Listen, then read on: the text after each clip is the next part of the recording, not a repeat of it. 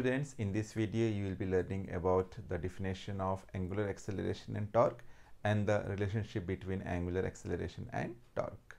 This topic is important for intermediate first year physics. Let us see the definition of angular acceleration. The rate of change of angular velocity is called angular acceleration. So at what rate the angular velocity is changing when the object is in circular motion at the time how angular velocity is changing with respect to time is called as angular acceleration. It is very simple. The rate of change of angular velocity is called as angular acceleration. Formula is alpha is equal to d omega by dt. Second definition torque. The rate of change of angular momentum is called torque. That means at what rate angular momentum is changing how angular momentum is changing with respect to time that is called as a torque and the formula is tau is equal to dl by dt. Let us see the second part of the question here. We have to find the relationship between angular acceleration and torque. To find the relationship between them, we should know the following formulas. Tau is equal to dl by dt, L is equal to i omega, alpha is equal to d omega by dt.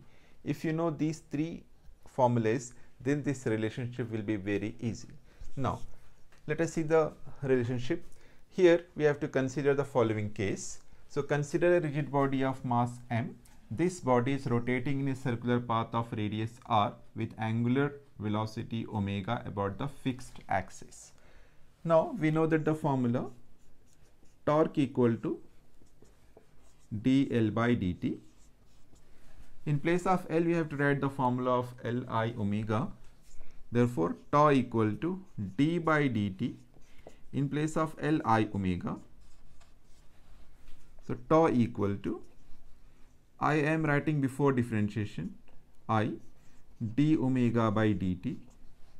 So, tau equal to I d omega by dt is nothing but alpha alpha. So, tau equal to I alpha is the relationship between torque and angular acceleration where i is moment of inertia of the object. Let us see one more question here. Define angular velocity and derive v is equal to r omega.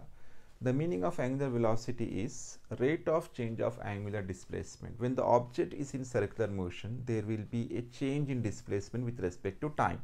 That is called as angular velocity. Definition, rate of change of angular displacement is called as angular velocity. Second part is derive V is equal to R omega. To derive this equation, we should know the following formulas. Length of arc equal to radius into angle.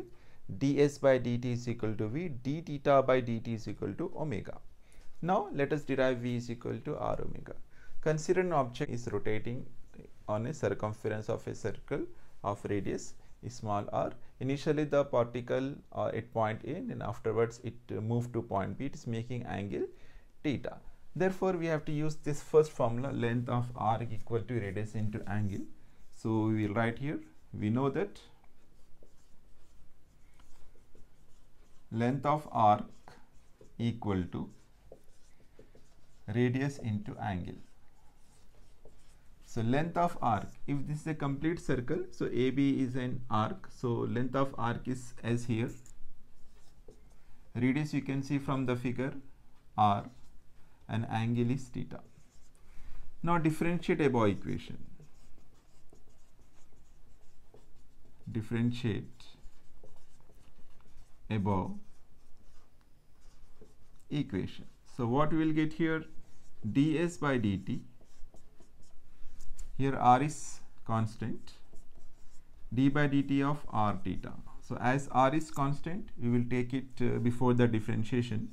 So ds by dt equal to r d theta by dt. ds by dt is nothing but v